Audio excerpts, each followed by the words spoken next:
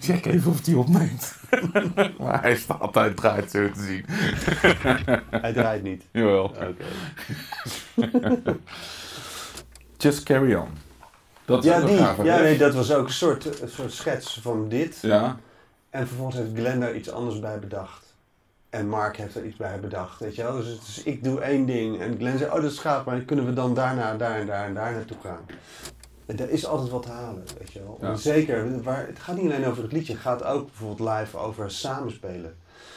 Weet je wel, dat ding is te gek, dat je samenkomt en dat je met elkaar, al is het voor de vijfhonderdste keer, maar als het weer goed gaat, weet je wel. is het weer gewoon- goed. Ja. het is gewoon instrumentale communicatie, het is te gek.